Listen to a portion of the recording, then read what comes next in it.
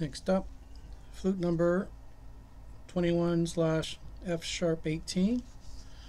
Uh, it's made from sassafras and vera wood.